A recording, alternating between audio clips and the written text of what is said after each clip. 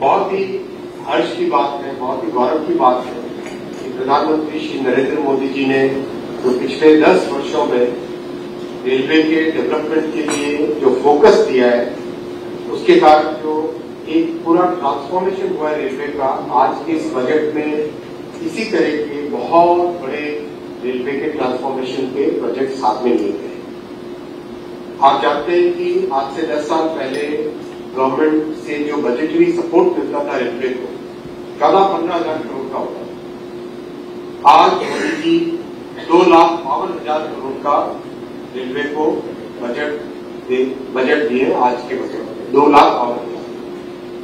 बहुत ही खुशी की बात है कि रेलवे की जो सबसे बड़ी रिक्वायरमेंट थी रेलवे की कैपेसिटी को बढ़ाना। कैसे ज़्यादा से ज़्यादा पटरी हो, ज़्यादा से ज़्यादा लोकोमोटिव हो, ज़्यादा व्हीकल हो जिससे कि ज़्यादा से ज़्यादा ट्रेन चल सके और ज़्यादा से ज़्यादा पैसेंजर्स ट्रैवल कर सके।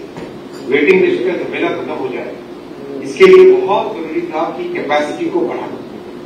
इसीलिए पिछले दस वर्षों में, मोदी जी ने रेलवे में छब्बीस हज़ार किलोमीटर किए। छब्बीस हज़ार।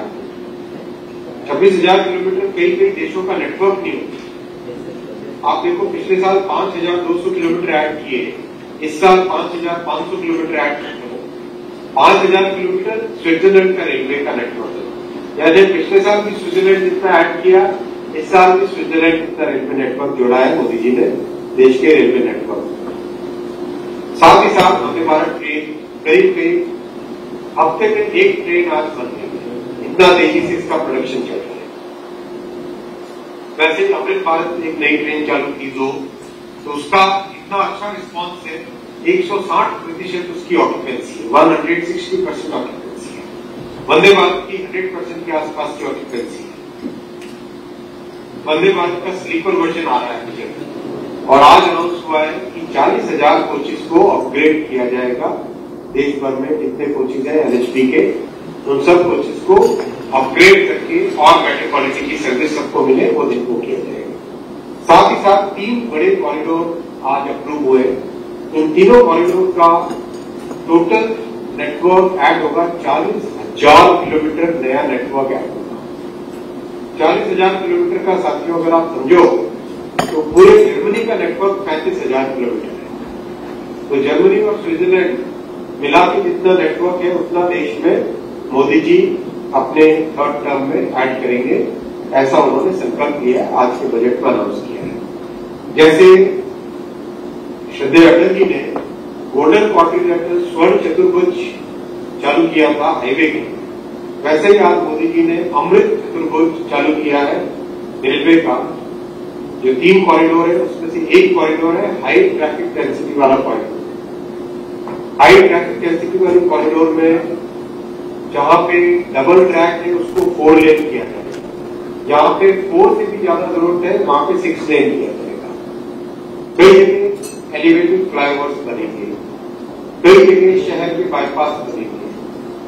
बहुत ही सोचे समझे तरीके से, बहुत ही मेटिकुलस डिटेल वर्किंग की गई है किलोमीटर बाय किलोमीटर देश में कैसी रिक्वायरमेंट है, उस रिक्वायरमेंट के हिसाब से पूरा डिज़ाइन करके आज तीन कॉरिडोर बजट में अनाउंस हुई एक कॉरिडोर एनर्जी इकोनॉमिक कॉरिडोर है, दूसरा रेल सागर जिसमें पोर्ट्स के साथ जितने बंदरगाह उनसे कनेक्टिविटी होगी।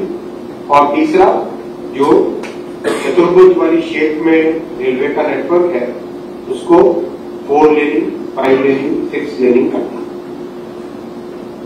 अब मैं स्टेट स्पेसिफिक बात करूँगा। पहले आप देखें, गुजरात को 2009 से 2014 यूपी की जब सरकार थी, बिल्कुल सौतेला व्यवहार होता था, बिल्कुल अवहेलना होती थी बिल्कुल अनदेखी कर देते थे इग्नोर कर देते थे। केंद्र सरकार की तरफ़ से रेलवे का मात्र पाँच सौ नवासी five hundred eighty nine crore rupees देते थे रेलवे के एलोकेशन इतने बड़े प्रदेश में इतने इम्पोर्टेंट प्रदेश में 589 किलोमीटर काम भी उतना ही होता था एक सौ बत्तीस किलोमीटर के आसपास साल में काम होता था। आज मोदी जी ने बजट में गुजरात को आठ हज़ार पाँच सौ सत्यासी eight thousand five hundred eighty seven crore rupees दिए और काम भी आप देख ही रहे फ़ील्ड में तो आप देखते ही हैं। काम भी जहाँ 132 किलोमीटर होता था, अब 701 किलोमीटर का काम हो रहा है गुजरात सेवन हंड्रेड पर। इलेक्ट्रिफिकेशन 97 परसेंट हो गया। है